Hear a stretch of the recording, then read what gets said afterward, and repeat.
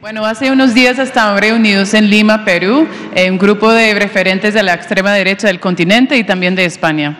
Eh, hicieron algunas declaraciones sobre su persona diciendo que está atacando las instituciones, está atacando la democracia. Esas declaraciones han sido repetidas también por los mismos senadores republicanos de Estados Unidos.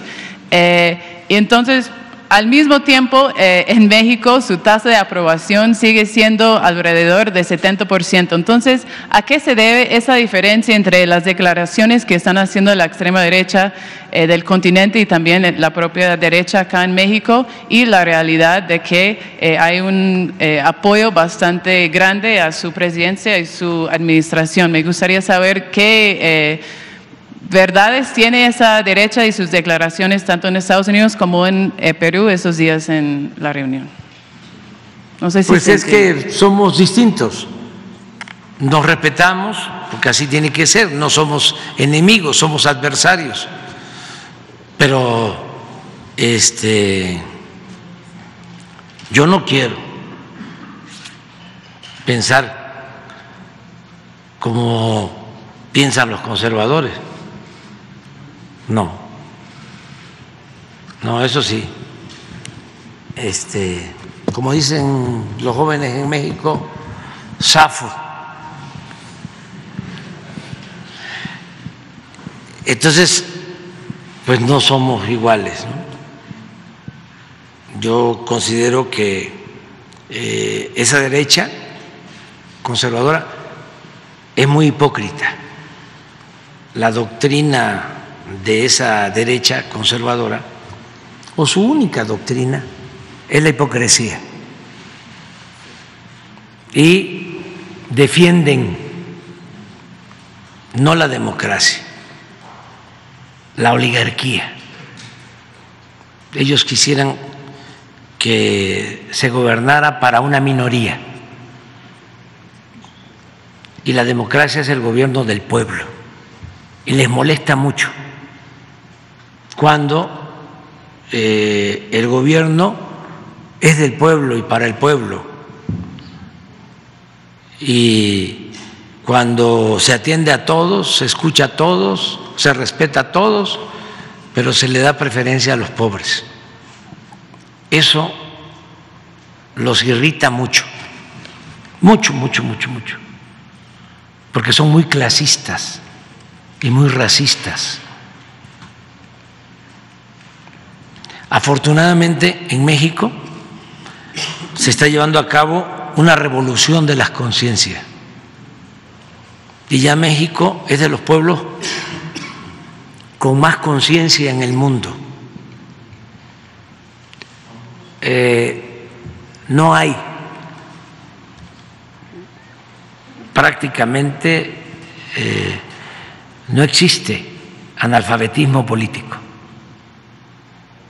muy difícil de manipular al pueblo de México. Por eso, aunque nos atacan, no solo en el extranjero, New York Times, Washington Post, Wall Street Journal, famosísimos, como dicen, este, de mucha influencia, Financial Times, El País, Y aquí, todos, con honrosas excepciones. No pasa nada, porque este es un pueblo muy consciente, muy avispado, muy despierto. Y como decía Abraham Lincoln, ese gran libertador, a un pueblo se le puede engañar una vez, dos veces, pero no se le puede engañar toda la vida. Entonces en México estamos viviendo un momento estelar en nuestra historia por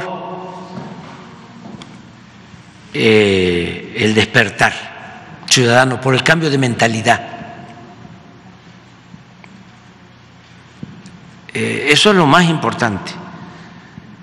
A veces es más importante el cambio de mentalidad que las mismas revoluciones porque puede llevarse a cabo una revolución y la gente sigue pensando igual. Y por eso fracasan algunas revoluciones. Porque los que hacen esas revoluciones, esa vanguardia, eh, se echa a perder cuando no hay todo un pueblo exigiendo, haciendo valer sus derechos. Entonces el proceso de México no es de un grupo o no lo está llevando a cabo un dirigente o un grupo de dirigentes, mujeres y hombres, no, es todo un pueblo. Si no fuese por el apoyo de la gente, este, pues no estaría yo aquí. Pero la gente nos está apoyando mucho. Nos da mucho gusto que estén aquí. ¿eh? Este,